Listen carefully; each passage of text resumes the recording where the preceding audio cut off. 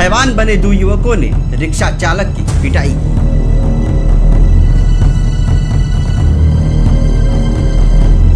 बीच सड़क पर उठाकर पटका और लोहे के सेट से पैर पर मारा।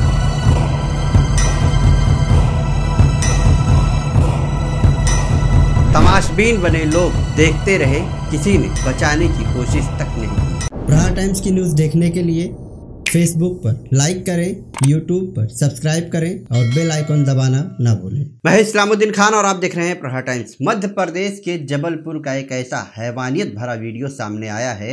एक गरीब ऑटो चालक की दो हैवानों ने बीच सड़क पर पिटाई कर दी है और पिटाई भी ऐसी कि देखने वाले भी सहम गए हैं। इस गरीब ऑटो रिक्शा चालक का कसूर बस इतना था कि एक स्कूटी से मामूली टक्कर हुई, जिसके बाद महिला ने इन दोनों युवकों को बुलाया और इन दोनों युवकों ने इस ऑटो चालक की बीच सड़क पर बेरहमी से पिटाई की। सोशल मीडिया में ये घटना का वीडियो काफ़ी वायरल हो रहा है और देश के सामने इन दोनों हैवानों की तस्वीर सामने आ गई।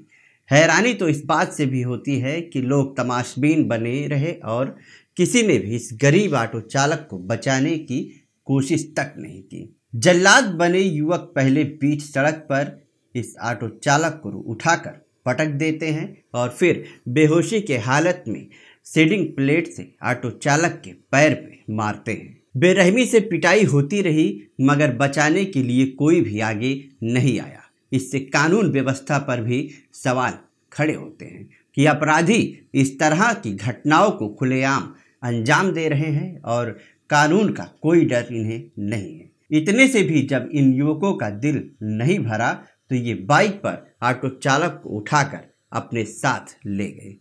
जानकारी के मुताबिक पुलिस ने मामला तो दर्ज कर लिया है, मगर अभी तक इनकी गिरफ्तारी नहीं हो पाई है। इस तरह के अपराध सरकार और सिस्टम पर सवाल खड़े करते हैं कि अपराध रोकने में कितने फेल हैं।